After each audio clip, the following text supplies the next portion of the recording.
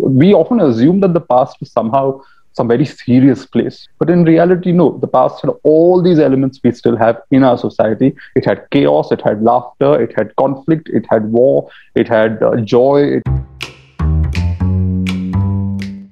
Hi, my name is Manu. Pillai, and you're watching me on Tweak India. We often think of history and kings and kingdoms and rulers and the image, if you shut your eyes, the image that comes in front of your eyes is of these people sitting on their simhasans looking very serious. But no, they also had a sense of humor, they also had personality, and they, they were able to let their hair down every now and then. We often think the Kama Sutra is just about, you know, bedroom gymnastics, but that's just one segment of the text. There's a whole lot of it that's about grooming, about how courtesans should woo their uh, their customers, but also get rid of them if the customer doesn't have money. Who would have thought that you know so many centuries ago, when the Kama Sutra was written, a well-groomed man was a man who had to go and get his body hair shaved off every 10 days. We often assume that the past was somehow some very serious place. That's possibly because that's how we're taught.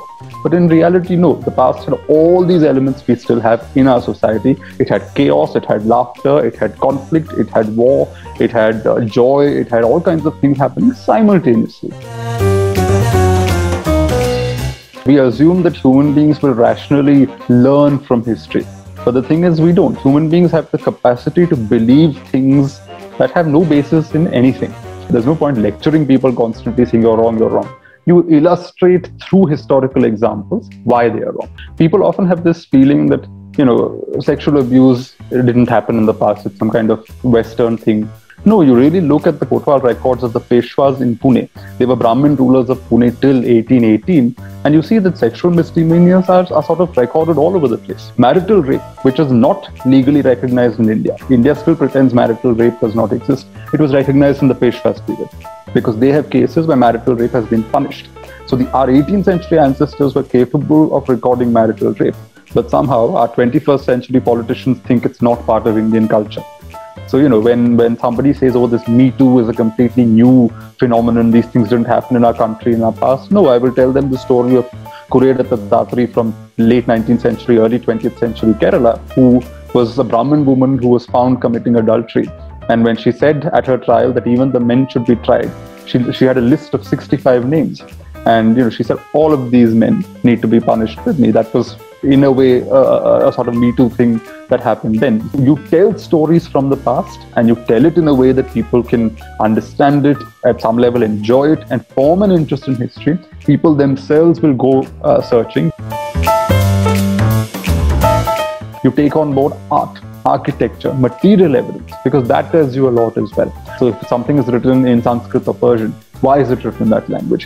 Who is the intended audience? Who was the author? What was the background of the author? Everything that's written in text isn't true. I mean, we're talking in the age of fake news.